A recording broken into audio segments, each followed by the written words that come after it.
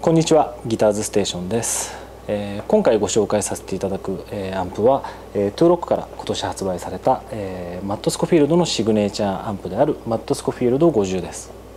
えー、マット・スコフィールドは以前から、えー、トゥーロックのカスタムリバーブのシグネチャー2を、えー、使用していたことで、えー、そのサウンドの、えー、方でも定評があった、えー、方なんですけれども、えー、ついに彼のシグネチャーアンプということで彼のこだわりが詰まった、えー、アンプとしてこちらの、えー、マット・スコフィールド50が、えー、発発表になりました。で世界限定50台のみという形なので日本国内の入荷というのもかなり限られているんですけれどもそのうちの1台が、えー、当店の方に入ったので、えー、その実力をぜひ聞いていただきたいと思います。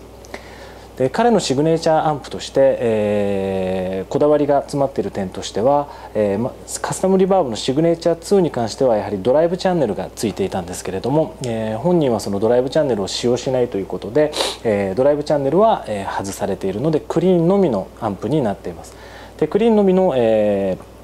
アンプとして 6L6 の 50W に整流管を2本使用しているパッケージとなっているので元になっているものは現在のプロダクトの中で言えばクラシックリクラシックのタイプ3とほぼ同じようなスペックにはなるんですけれども彼なりのモデルとしてこのアンプに関してはトレモロが搭載されています。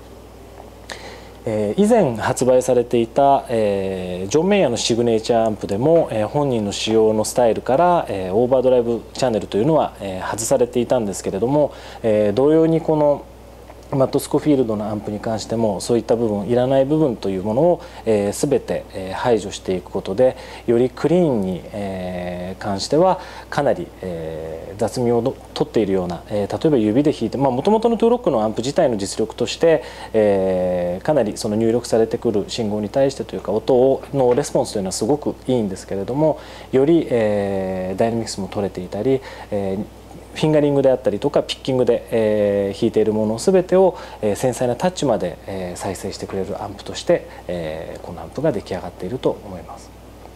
でもちろんリバーブセクションに関してはトゥーロックとして定評のある、えー、パラレルリバーブになっているので、えー、そのリバーブを出される音量に対して、えー、必要な分だけのリバーブをコントロールできますし、え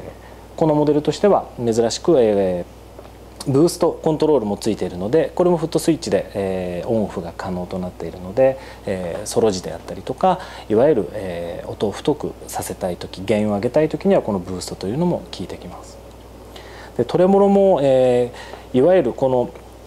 アンプにのみ搭載させたというだけあって、えー、かなりウォームな、えー、すごく質の高いトレモロになっているのでこういった、えー、ものを搭載されているパッケージというのは彼なりというところもあるんですけれどもアンプとしての完成度というのもものすごく高いのは、えー、お分かりいただけるんじゃないかなと思います。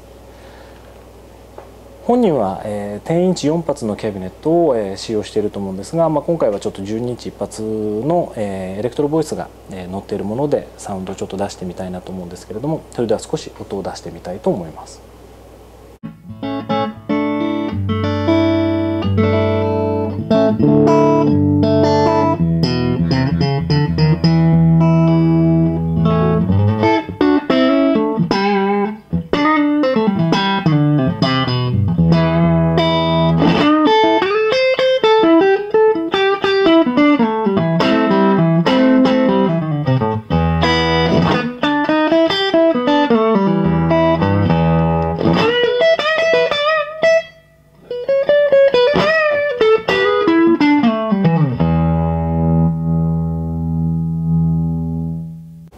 ゆるフィンガリングで弾いた時とあのピッキングで弾いた時のニュアンスであったり、まあ、強く弾いたり弱く弾いたり、まあ、ボリュームが少し下がったりっていう時にもあのそういったところにもきちんと反応してくるので、まあ、そういった、えー、アンプとしての、まあ、いわゆるリアルなものをそのまま再生してくれるっていう、えー、このアンプの実力っていうのは、えー、お分かりいただけるんじゃないかと思うんですけれどもあとは、えー、このブーストをかけることによって、ま、どれぐらい、えー、ゲインが上がってくるのかというのとあとは、まあ、いわゆる、え、以前からあるこの鮮度、えー、リバーブセクションに関して、え、リバーブ鮮度を上げることで出しているボリュームに対して、えー、小さな例えば音量であってもビッグにリバーブをかけることができたり、えー、それに対して小さな、えー、あまりこう広くないリバーブであっても、えー、リバーブリターンを上げることで、えー、少しこう大きめのリバーブにしたりというようなその出す音量によって変えられるというようなリバーブあとはそのトレモロというような、えー、コントロールについても少し試してみたいと思います。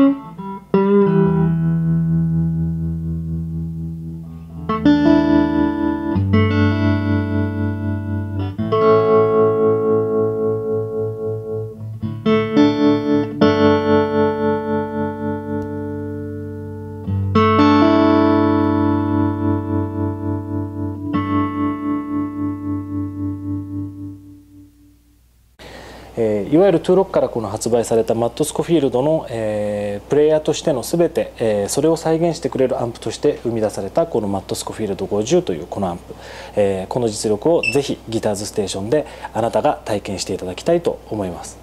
ギターズステーションでした。